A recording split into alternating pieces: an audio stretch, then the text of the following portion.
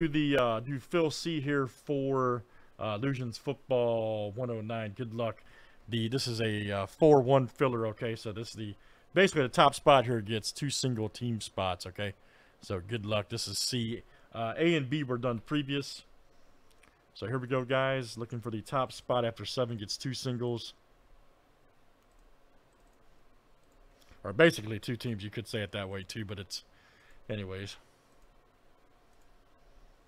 All right, Ken, you will snag both here, sir. Very good.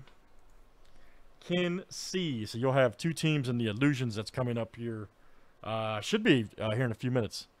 Very good, guys. Thanks for joining. All right.